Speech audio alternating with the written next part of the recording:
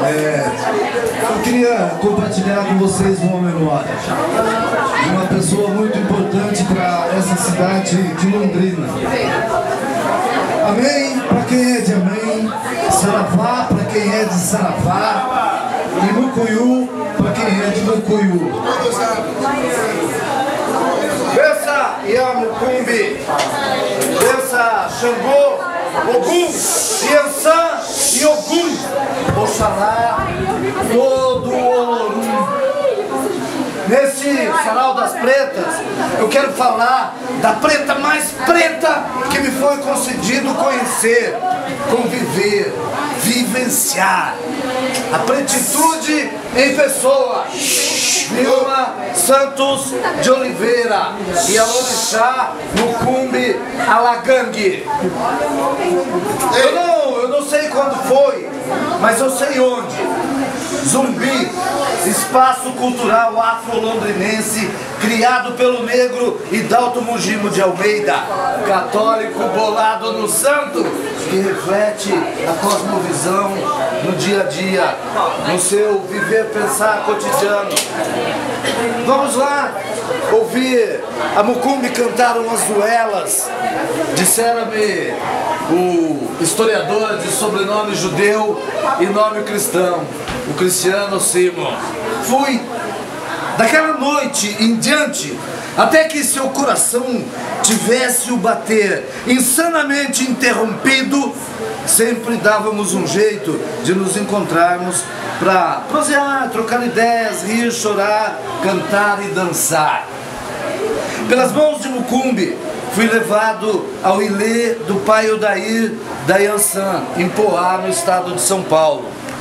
Ao conhecer o pai de Mucumbi no candomblé, entendi a origem de sua doçura, simplicidade, humildade e generosidade.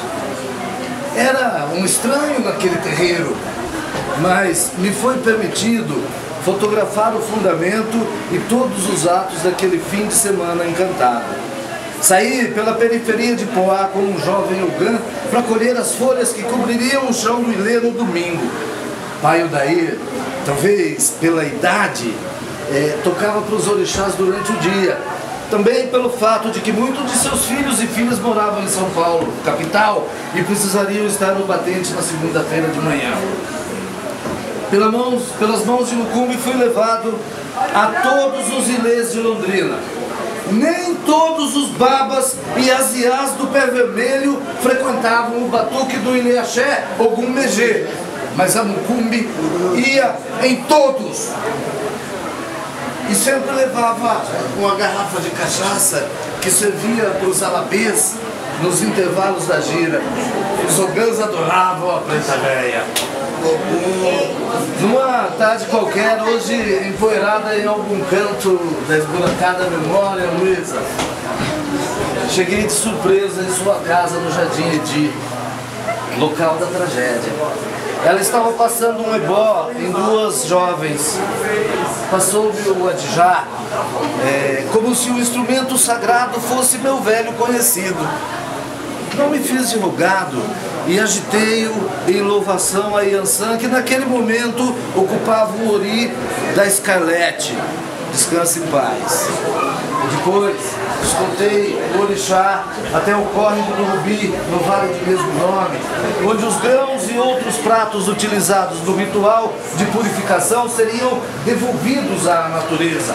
Simbolicamente, levariam para longe tudo o que afligia as duas moças e tornar-se-iam alimentos para os peixinhos que habitavam aquele córrego e que alimentariam outros peixes maiores que iam acabar parando numa frigideira. Não muito tempo depois, fui sagrado a Shogun. Mão de faca.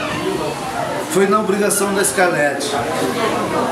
Estava ajudando o Ogan Robson, o filho mais velho da Mucumbi, a pegar os bichos para ela que ela ia sacrificando. Num dado momento olhou-me nos olhos e disse: "Estenda suas mãos".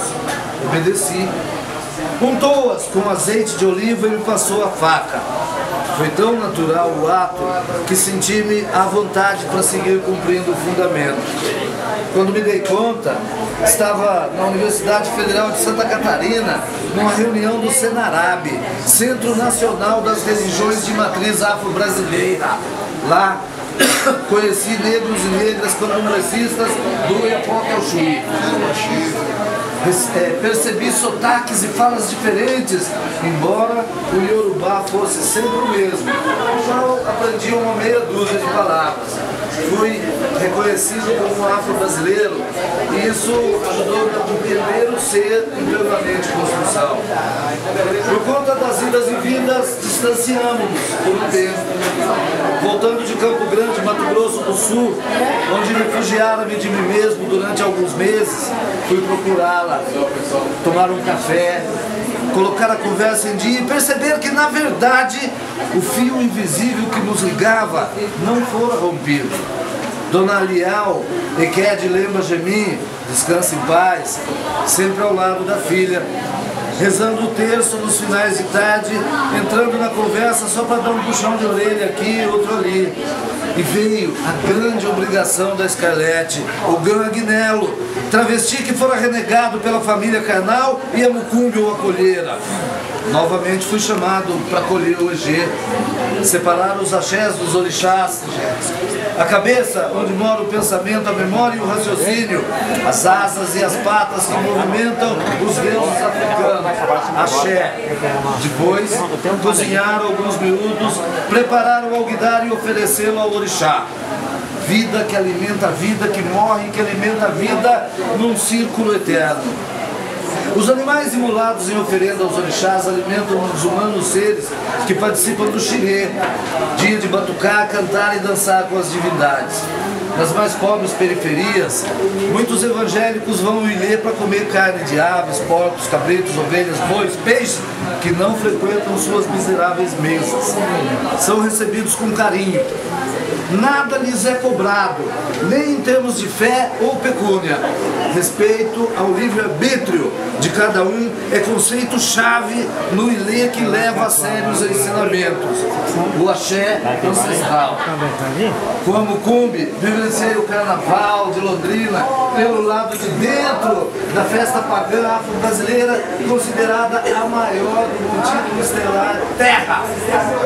A gente pegava o ônibus lá no Jardim Edi e até a São Leoquinde, acompanhar os ensaios da escola de samba Quilombo dos Palmares, ver a dignidade em pessoa, armando a comissão de frente da escola campeã do carnaval de 1980 alguma coisa. O navegante português dançou com o índio na embriaguez. Na ginga do rolé do seu olé Tinha João dançando e caído de montão. Quando a Marina, minha filha, hoje com 20 anos nasceu. Levei-a na festa de Herê Conheceu a pretada de cara. E curtiu da mesma forma que o Giovanni, 11 anos, que foi na festa um mês e pouco depois de nascido. Levei ele para gira, dancei com ele e passei o axé para o Herê, Herês, como o da Scarlett, que me chamava de paizinho. E a gente se empanturrava de doce, bolo, refrigerante e sorvete. A navalha, manuseada pela Mucumbi, numa noite de magia boa, fez a cura. Um corte no alto da cabeça, porta aberta para Xangô se manifestar. Habitar o Ori deste humano ser imperfeito e em eterna e interminável edificação. O devir afro-brasileiro, mítico, milenar, ancestral, humana essência. A força do selvagem em ação com o conhecimento e a sabedoria do civilizado. A humildade da humana existência, o reconhecimento de erros e o compromisso de não repeti-los. Caô, Cabiecine, Agô, Agô, Xangô.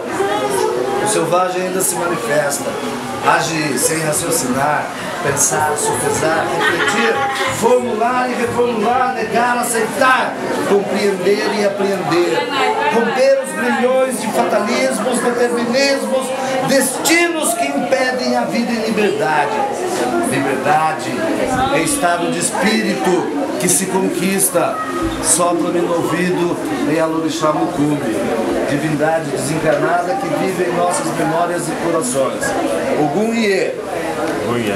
Ilê, Ilê Axé, Ilê Axé Ogum Megê. Espaço sagrado de portas fechadas, Ogum em silêncio, Exu enclausurado, atabaques emudecidos, cantos calados. O couro que canta, a alma que ouve e o corpo que dança. Rum, rum, pilé, laroiê, epababá, oguiê, caô, eparei, orá, adó. Eu sou Nagô.